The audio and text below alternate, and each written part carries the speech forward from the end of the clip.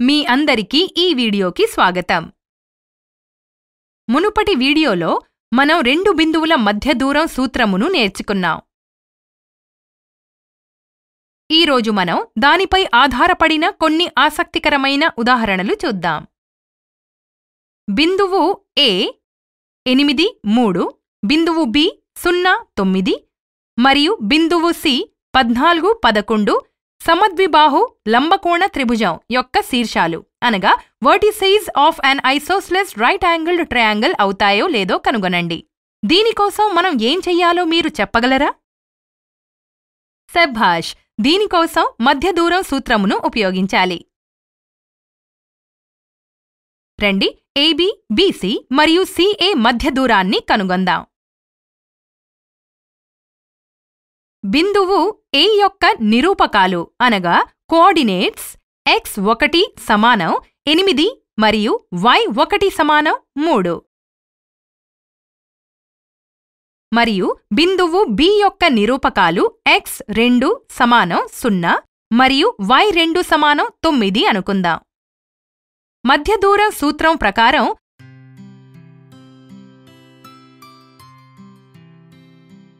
మనకు ఏబీ యొక్క విలువ పది లభిస్తుంది.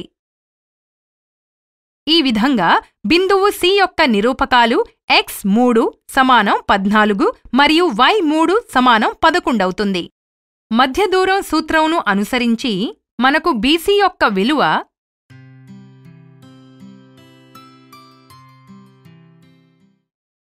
పది వర్గమూలం రెండు లభిస్తుంది. ఇదే విధంగా మధ్య దూరం సూత్రంను ఉపయోగించి మీరు సిఏ యొక్క విలువను కనుగొనగలరా?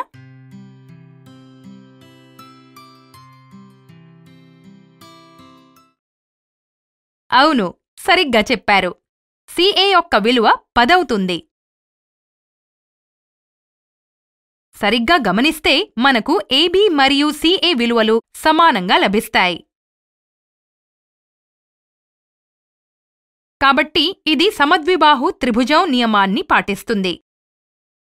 ఇప్పుడు మనం ఒక సమద్విబాహు లంబకోణ త్రిభుజమా లేదా అనేది పరీక్షించాలి. మనం సమద్విబాహు లంబకోణ త్రిభుజం కోసం తర్వాత ఏం చెయ్యాలో మీరు చెప్పగలరా?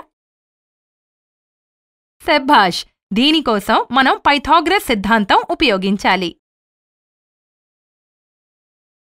ముందుగా భుజాలు ఏబీ బీసీ సిఏలలో కర్ణం ఏదో చెప్పగలరా? మనకు ఈ మూడింటి విలువల ద్వారా ఈ త్రిభుజం యొక్క కర్ణం బీసీ అని తెలుస్తుంది. ఎందుకంటే బీసీ యొక్క పొడవు అన్నింటికంటే ఎక్కువగా ఉంది. రండి ఇప్పుడు పైథాగ్రస్ సిద్ధాంతంలో ఈ మూడు విలువలను ప్రతిక్షేపించి ఇది లంబకోణ త్రిభుజమని నిరూపిద్దాం. ఏబీ మరియు సిఏ యొక్క వర్గాలని కూడితే మనకు రెండు వందలు లభిస్తుంది. ఇది బీసీ యొక్క వర్గాల మొత్తానికి సమానం.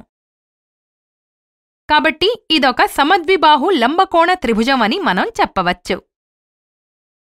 రండి మరొక ఉదాహరణ చూద్దాం. ఎక్స్ అక్షంపై బిందువు ఆరు మైనస్ మూడు నుండి ఐదు యూనిట్ల దూరంలో ఉన్న నిరూపకాలు కనుగొనండి.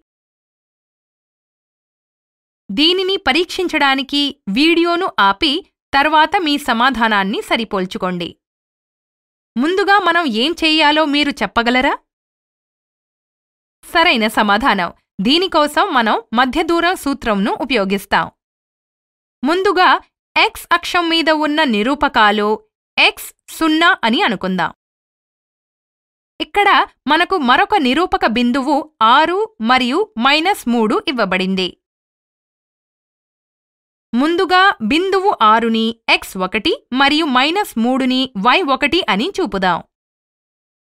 ఇదే విధంగా ఎక్స్ అక్షం యొక్క బిందువు ఎక్స్ రెండు మరియు సున్నాన్ని వై రెండు అని చూపుదాం.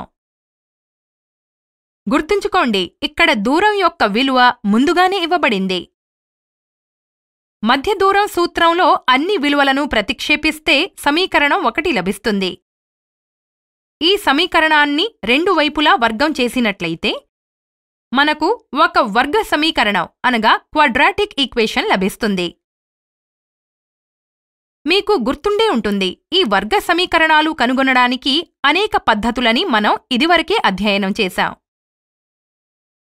ఇక్కడ ఈ వర్గ సమీకరణాన్ని మధ్య పదాల విభజన పద్ధతి ద్వారా పరిష్కరిస్తాము.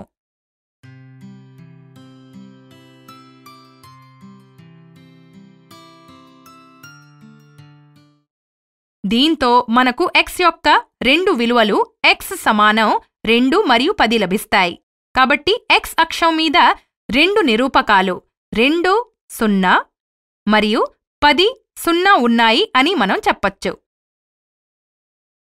ఈ వీడియోలో మనం రెండు బిందువుల మధ్య దూరం కనుగొనడానికి మధ్య దూరం సూత్రం ఉపయోగించడం మీద ఆధారపడిన ఉదాహరణలను చూశాము. తదుపరి వీడియోలో మనం ఈ విధమైన ప్రశ్నలని పరిష్కరించే సమయంలో జరిగే సాధారణ తప్పులని తెలుసుకుందాం.